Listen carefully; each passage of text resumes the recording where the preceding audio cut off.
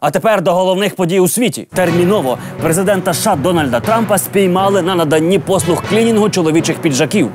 Турботливо почистив костюм Макрона, не забувши повідомити світ, що це не банальна пилюка, а саме лупа.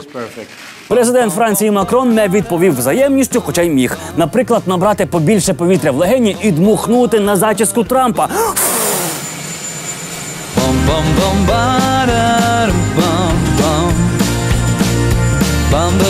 Або запропонувати внести цю зачіску в Паризьку палату мір та вагів як еталонний вигляд структурованого замороженого блювотиння. Світові медіа вже поспішили заявити, що цим жестом Трамп намагався домінувати над президентом Франції. Але мені здається, це Макрон домінує. Йому струшує лупу президент Сполучених Штатів. Що може бути крутіше? Знаєте що?